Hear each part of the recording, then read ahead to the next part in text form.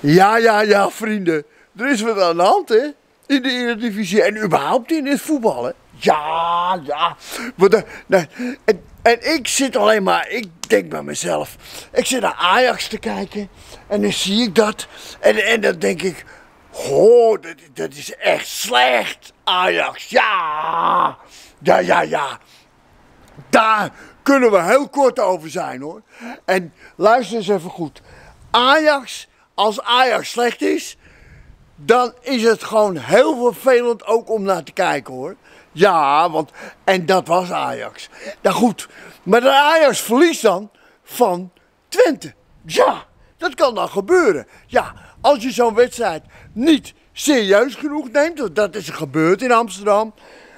Ja, dan moet je op de blaren zitten en dan krijg je gelijk. Komt die ober langs en die rekent af. En die zegt hallo, verliezen 2-1 en de mazzel. Nou, dat is wat er gebeurd is met Ajax. Maar nou even, Feyenoord. Ja, oh, Feyenoord. Dat is toch ook even wat zeg. Dat Feyenoord tegen 10 man op het eind van Heracles. En die kunnen niet eens winnen. Feyenoord. Luister nou eens even goed. We hoeven daar niet lang over te praten. Ik ben natuurlijk Fe- Fe- Feyenoord in hart en, en bijna nieren. Ja, eerlijk is eerlijk. Als Ajax speelt, dan zijn er soms nog leuke momenten en dan kan je ervan genieten. Maar als Feyenoord slecht speelt, pff, jongen, jongen, jongen, jongen, dan is het ook gelijk ook helemaal niks. En dat was weer het geval. Ja, en Dick Advocaat heeft het duidelijk gezegd. Die heeft gezegd, jongens, kwalitatief komen we gewoon tekort. En dat is het gewoon ook zo. En dat heb ik ook al heel lang gezegd. Het is gewoon een heel middelmatig elftal. En, ik en nog even wat. Ik begrijp helemaal niet dat mensen er tegen zijn. Dat heb ik gelezen in Rotterdam. Dat Arne Slot komt. Zijn jullie wel helemaal goed bij je hoofd? Hey! En nou houden jullie op daar in Rotterdam. Wees nou dolgelukkig dat die Arne Slot komt, naar Feyenoord komt.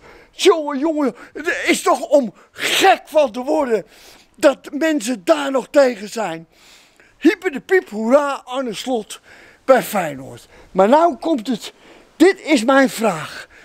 Wat is nou erger? Dat, en daar gaat het dus even over, hè. Wat is nou erger?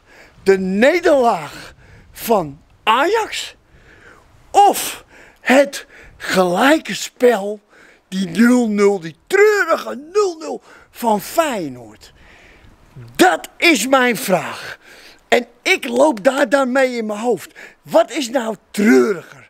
Wat is nou erger? Dat is het gewoon. En dat moeten jullie mij eens even laten weten.